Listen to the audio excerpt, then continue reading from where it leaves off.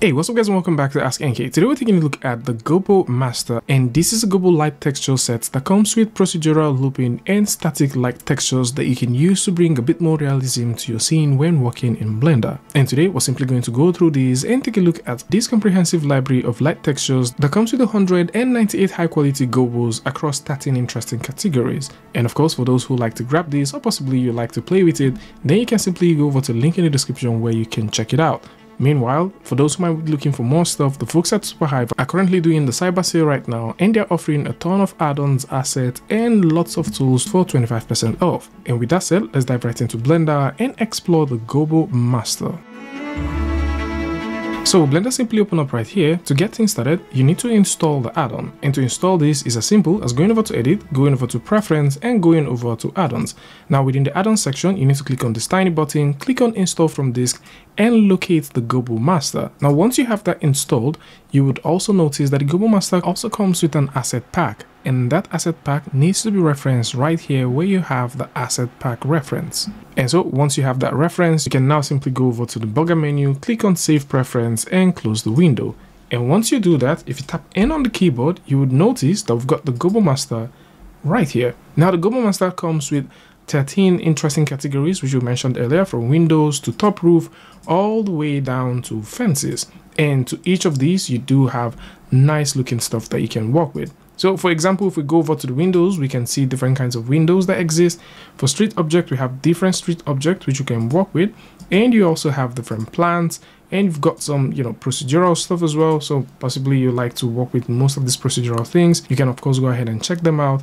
Then we also got some IVs. So you can select some IVs and work with them. You know, how you work with these in Blender is this easy. So let's go ahead and bring this up. So we do have ourselves in nice table. So I'm just going to bring that all the way up and I'm going to split my window into two so we can see a render and also see where we are working from. So now that we have this, what we need to do is to get rid of our default point light. So the first things which I would like to throw in is a window. So in this case, I'm just going to go ahead and select a window like that and I'm simply going to click on add spotlight gobo. Of course, you can add the Eevee gobo if you want, but in this case, I'm just going to add the spotlight gobo and that's going to be right around there. And once I drag this all the way up, you would notice that we have that showing up right here. So with this, we can make some changes.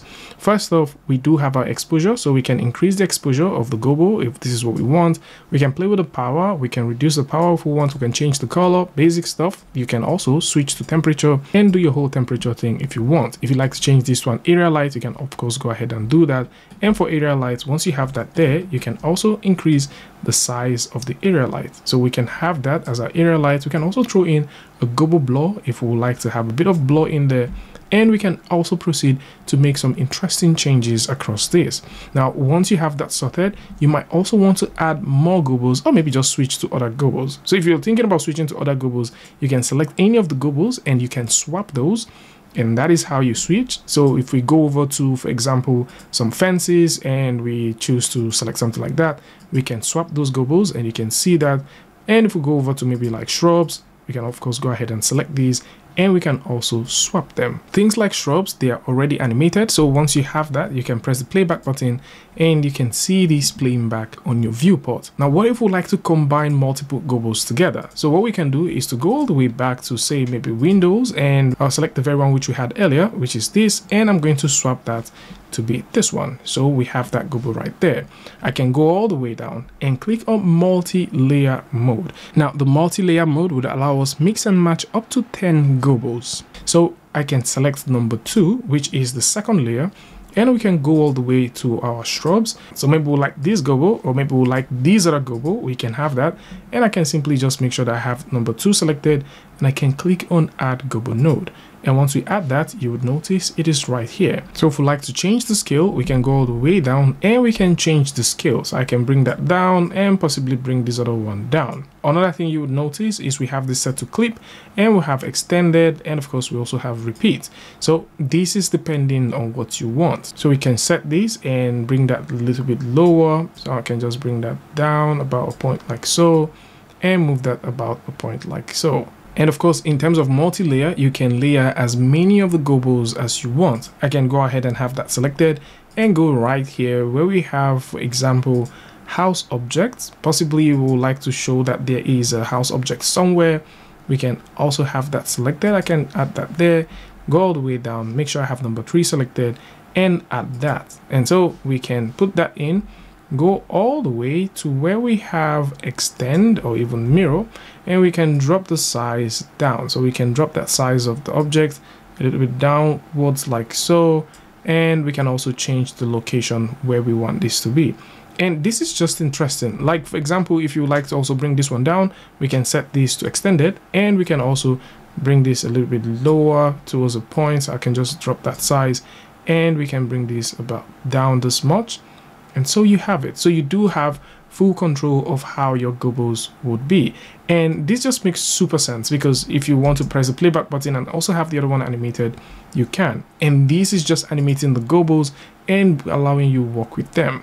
And with that said, let's go ahead and take this out and explore working with the procedural gobos. And to do that is very simple. So we're going to go over to the procedural gobos and we're going to find one. This looks pretty cool. We can have that selected and I'm just going to go ahead and add Spotlight Gobo, which of course is this one. So I'm just going to have that there. And of course, we can go ahead and increase the Gobo. So we can have this extended as much as we want. And we can also increase the power if this is what we're going for and the exposure as well. So we do have the procedural stuff going on. Right here, we can increase the size of that procedural you know gobo that we have and we can also play with the leave amount. So if we like to have this more less we can do all of that. We can invert this if we're thinking about doing something like that. So we just have the darker parts and then we can invert that if we choose. We can also play with some shape shifting stuff going on here which is also pretty nice. If we like things to be a bit sharper we can make that sharper and we can reduce that too and again this also supports the multi-layer mode so we can have that selected have this in the first layer, go over to the second layer, and we can choose to add other stuff. So other stuff can include maybe adding things like IVs and plants and stuff. So if we like to add those IVs, maybe we like to add a bit of ivy from there, we can have the number two selected or the layer two selected and we can click on add gobo node. And so once we add that, you would notice that these now stays right up in there. And so just like we mentioned before, you can also go ahead and make changes. Maybe we like this to be extended, repeated, all that stuff, we can actually go ahead and do all of that. There is one feature which I would love to see, which would have to do with transparency of individual ones. That is something I don't have here. Hopefully this is going to be updated in the subsequent updates that will be coming with this.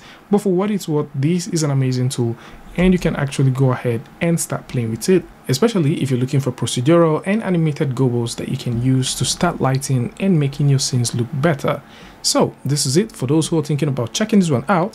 You can simply go over to the link in the description and check out Mr. 3D. And this is doing an amazing offer. Interestingly, if you're thinking about finding more cool stuff right here on SuperHive, there's also a couple of cool stuff that you might want to get, which includes the BagaPie, which is an amazing tool as well that ships with a ton of stuff, which includes architectural, vegetation, procedural, and parametric stuff. So you do have a lot of them. We also got Botaniq, from the folks at polygoniq, and this is a tree and grass library. Of course, the folks at polygoniq have also put together a couple of nice things before. So just in case you're looking for vehicle assets, which you can work with, they do have that. If you're looking for interior assets, which you can work with, you know, because we've just talked about the Gobo Master. So if you're looking for interior assets that you can use alongside the Gobo Master that we've just mentioned, then you can come through and check it out. They do have amazing and also interesting interior assets that you can work with. At the same time, procedural interiors is also another nice interior tool that we've just mentioned on the channel and this would allow you create floor plans and build your scenes easily. These tools would work perfectly fine with the Gobo Master that we've just mentioned. At the same time, if you're into lighting, Light Wrangler is also another nice tool for product rendering. So if you're into product rendering and you're looking for a tool like this that also ships with some interesting looking gobos and also light stuff as well, you would find this one super amazing. So this is it. There's just a ton of cool stuff that are currently available right now which you can get on SuperHive for 25% off. I'm going to link these ones in the description so do well to check them out. Tell me what you guys think about this one in the comment section and I'll see you guys in the next one. Peace.